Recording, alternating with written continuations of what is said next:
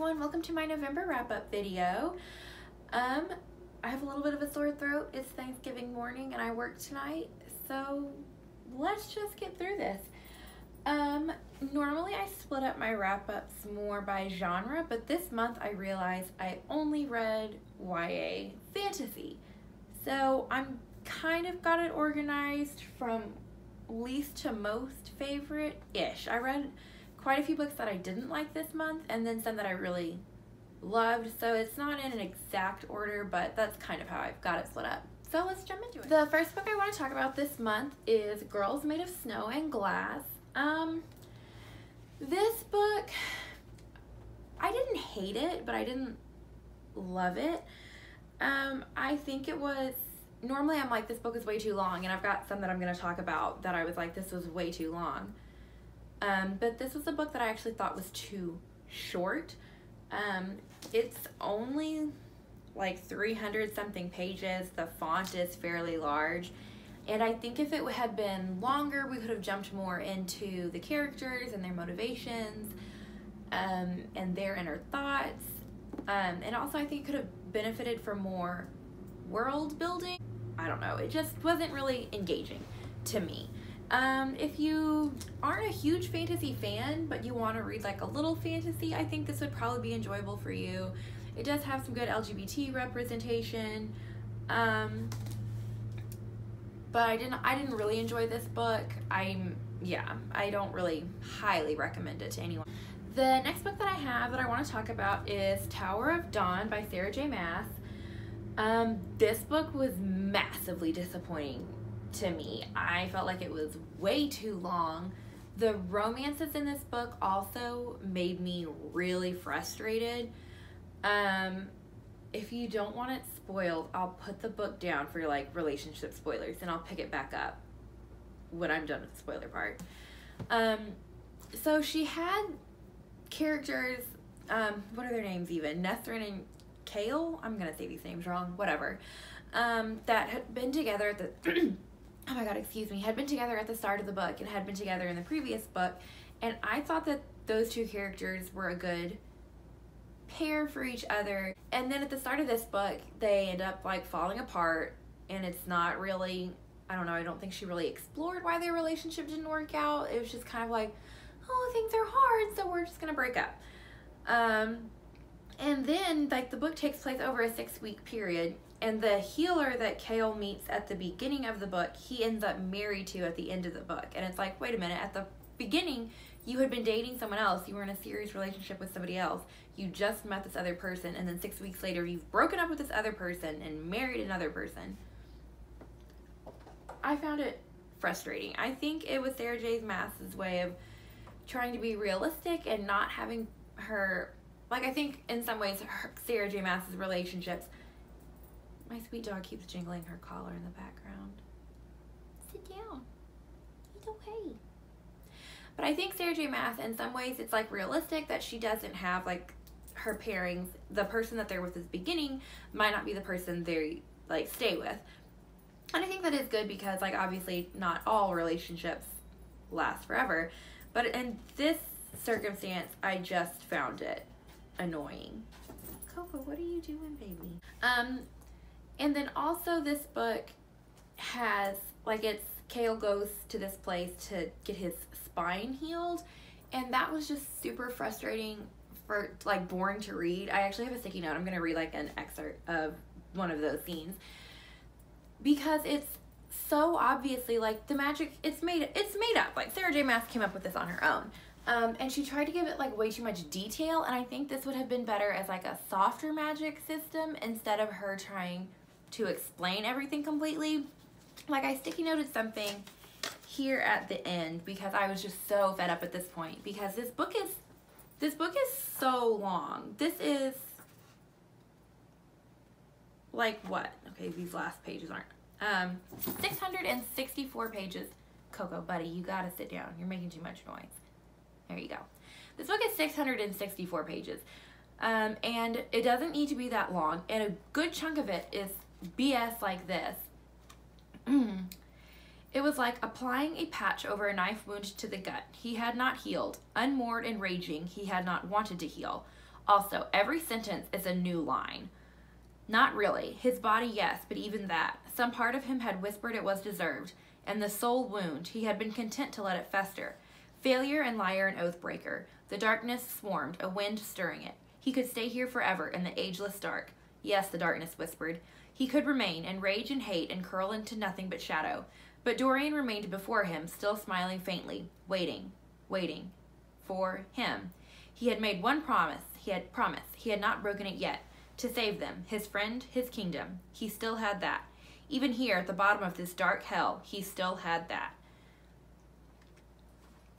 That whole thing, I mean, that's like a whole page because every sentence is its own line. It's supposed to be about, um, oh my God, what's her name? I- Yrene? Is that how you say it? Yrene?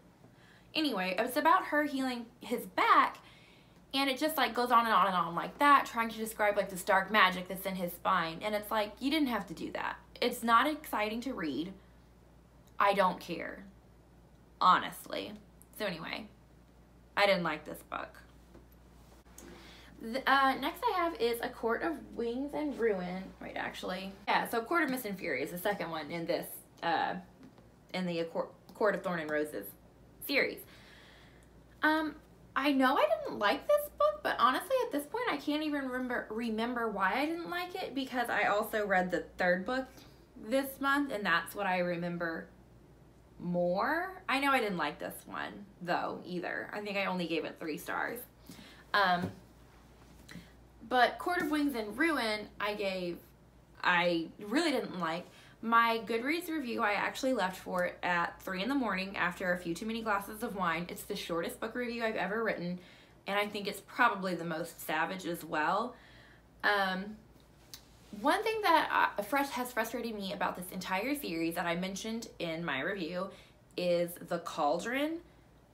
And in this magical universe, everything has been created by a cauldron. I'm not kidding and it's like this all-powerful force that plays a really big role in the series but it's so hard for me to read about like they're looking for the cauldron and the cauldron's powerful and like they're afraid of the cauldron and blah, blah. it's a pot okay? Do you know how boring that is to read about? I don't understand why she had to make it a cauldron. Like of all inanimate objects. Why? Um so that was dumb and annoying. Um also, I just, I still don't really like the characters in this series. I think I mentioned that with A Court of Thorn and Roses when I did that in one of my wrap up videos. Just not that great. I don't really recommend this series. Like, it was fine. I'm not too mad that I read it, but it's not a great series. I wouldn't be like, oh my god, you have to read the Court of Thorn and Roses series. So, A Gathering of Shadows, I actually didn't really enjoy. I to me it seemed like the first half probably could have been like mushed onto the first book.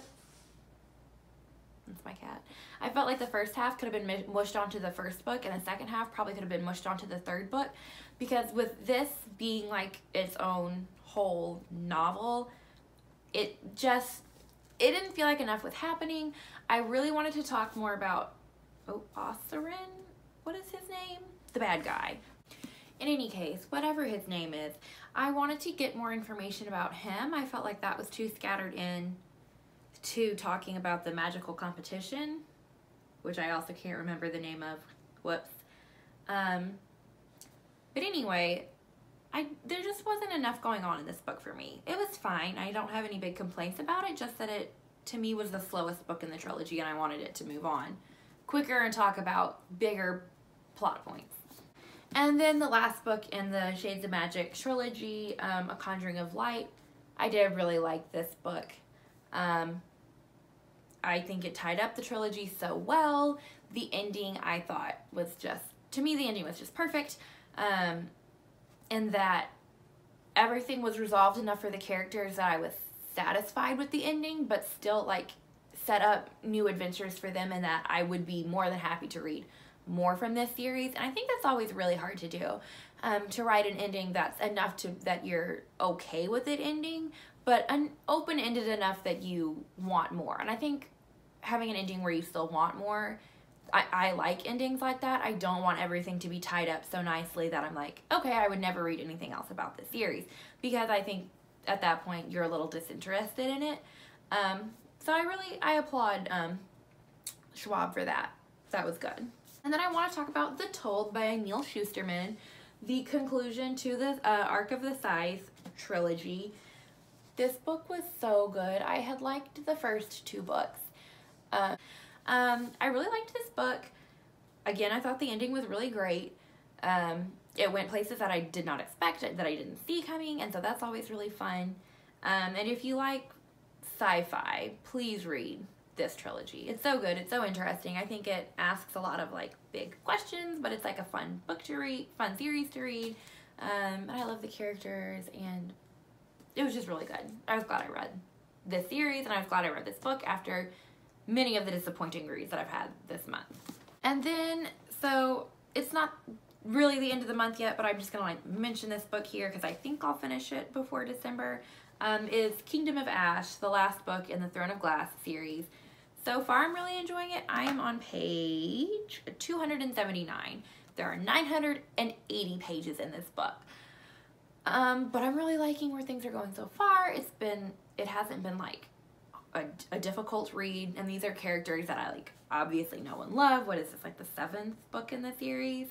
Um, so I'm like very familiar with the world and this series I think is so much better than the Court of Thorn and Roses series. Um, like, I don't have any big complaints about this. I have so many big complaints about the Court of Thorn and Roses series.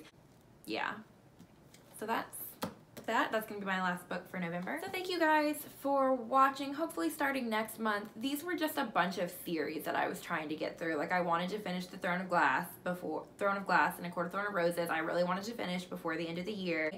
Um, but hopefully next month when I'm not trying to finish off all these YA series, I'll be able to go back to reading a wider variety of books. That's kind of what I've got lined up on my my um, like TBR shelves right now or more more of a variety of books like I like to read.